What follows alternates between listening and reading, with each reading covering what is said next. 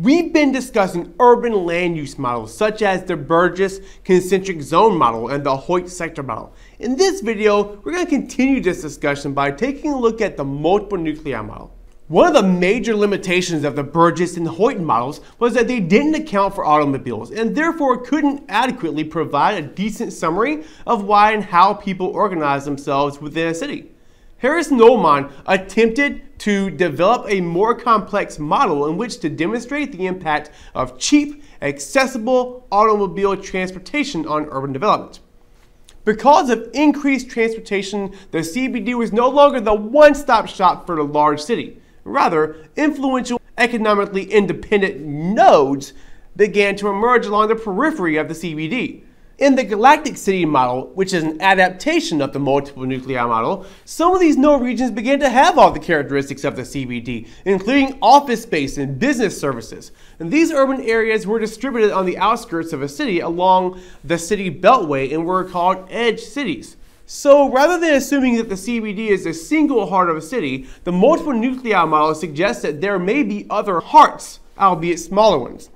This means that the city growth wasn't centered on the CBD alone, and the city grows from these specialized centers meshing together as one large general urban area.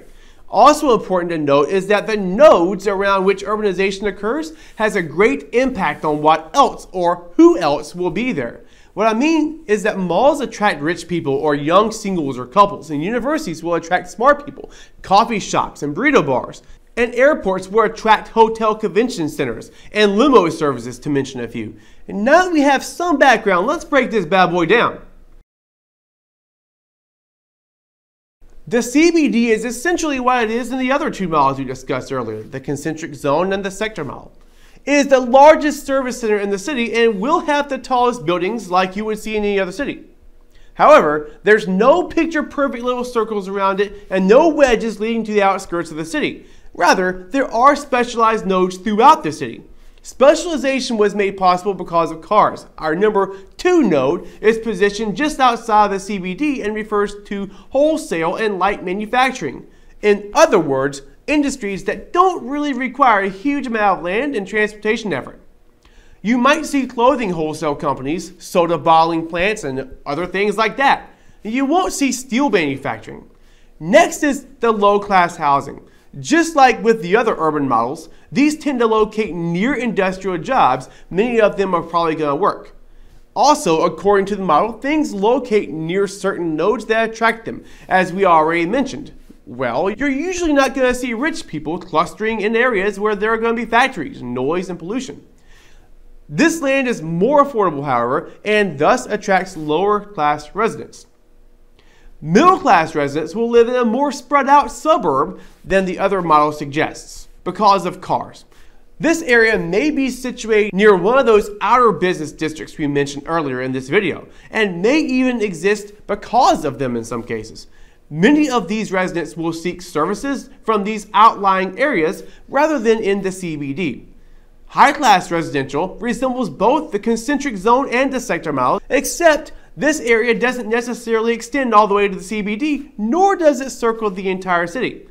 Like with any group, rich people usually cluster together, and such is the case in this model the highest income residents will live far enough away from the city center that they can escape the noise and pollution, but not so far as to be isolated from one of these outer business districts. Next, we have heavy manufacturing. In this region, you see more heavy industries like steel manufacturing, oil refineries, creation of chemicals, etc. This is different from the light manufacturing we discussed earlier. These industries would require more land and transportation effort. Therefore, they are located on the outside of the model, but near the low-class residents that are going to be working there. Which brings me to the outer business districts. These regions of the city are centered on nodes mentioned earlier and usually attract residents from the richer middle class and high class areas. They offer a range of services and can be centered on things like airports, colleges, or universities, or shopping malls. Lastly, the residential suburb area is just like what it sounds. The biggest difference between this and say the middle class region is that these houses aren't perhaps as clustered as in neighborhoods like traditional middle class urban sprawl. But these are more like small streets that are slightly more isolated. The industrial suburbs would be small scale industries that are clustered together and accessible because of trucks, making it possible for these to locate free of the traditional city centered industrial regions.